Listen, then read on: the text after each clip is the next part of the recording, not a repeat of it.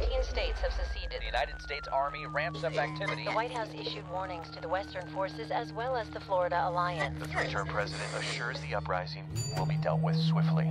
Let me know if you want to try anything on. Are you guys aware there's like a pretty huge civil war going on all across America? We just try to stay out.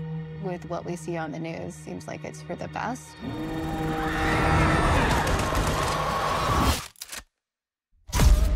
Citizens of America. The so-called Western forces of Texas and California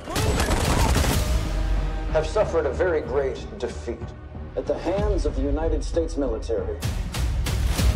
Mr. President, do you regret the use of airstrikes against American citizens?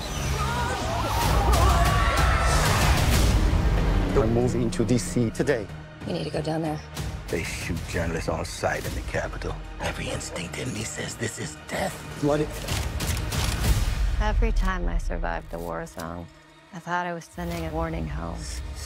Don't do this. But here we are. There's some kind of misunderstanding here. What? Well, you're American, okay? Okay. What kind of American are you? You don't know?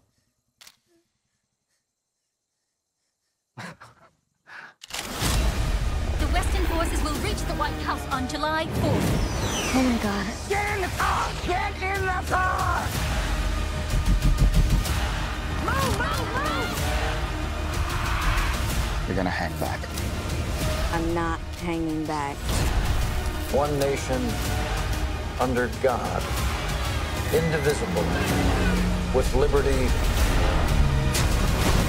and justice for all. Go, go, go, bless America.